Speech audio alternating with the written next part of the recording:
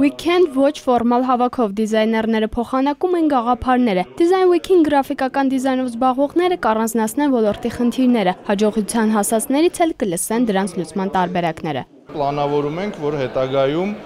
այդ իրոք որ մենք անունը դրել ենք Design Week, հա, դա իրոք կվերածվի շաբաթական հանդիպումների, մաստեր կլասերի շարքերի։ Դիզայներների առաջադիմական գաղափարները պետք կգան ծրագրավորողներին։ Առաջարկների համար հեռու գնալ պետք չէ։ Զուգահեռ սկսվում է 24 ժամյա ծրագրավորման մրցույթը։ IBM-ի ինովացիոն լուծումների ու տեխնոլոգիաների կենտրոնը 2-ից 4 հոգանոց թիմեր է հավաքել, որպեսզի մեկ օր աշխատեն IBM-ի անպային տեխնոլոգիայի վրա։ Լավագույն երկու թիմերը 500 հազարական դրամ մրցանակ կստանան։ Կլինեն նաև խրախուսական պարգևներ վաղը ժամը 3-ից սկսած իրանց արդեն ստեղծած application-ների դեմոներ են ցույց տալու։ Տեխնոլոգիական weekend-ում ուժերը կփորձեն նաև կայացած ստարտափերը։ Ծրագրի հաջող ներկայացումը նրանց Ֆինլանդիա կհասցնի, մասնակցելու տեխնոտաղանների սլաշ համաշխարհային կոնֆերանսին։ Տեղական ստարտափերն առաջին անգամ են նման հնարավորություն ստանում։ Հաղթողը Հելսինկիում կհանդիպի միջազգային առաջատար ներդրողների հետ ու բիզնես գործընկերներ կգտնի ՏՏ ոլորտի առաջատարների շարքում։ Նազելի Գրիգորյան, Նարեկ Գալստյան, ժամը լրատվական։